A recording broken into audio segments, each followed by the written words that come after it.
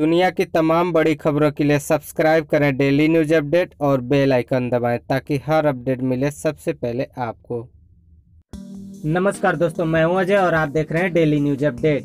Zee TV के लोकप्रिय धारावाहिक गुड्डन तुमसे ना हो पाएगा की अभिनेत्री कनिका मान इन दिनों लोगों के बीच काफ़ी लोकप्रिय हो चुकी हैं। सोशल मीडिया पर भी उनकी तस्वीरों को बेहद पसंद किया जा रहा है। बता दें कि कनिका का यह पहला टीवी शो है जो सुपर हिट हो चुका है।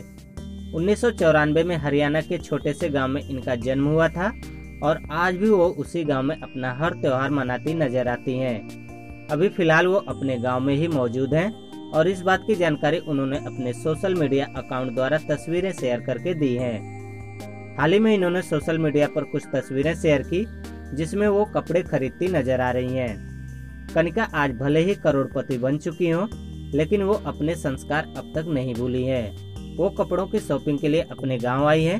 अपने ज़रूरत की सभी चीज़ें वो गाँव से ही खरीदती हैं। खबरों के मुताबिक वो अपने एक एपिसोड के लिए एक लाख बीस हज़ार का फ़ीस लेती हैं और आज वो एक बड़ी स्टार बन चुकी हैं।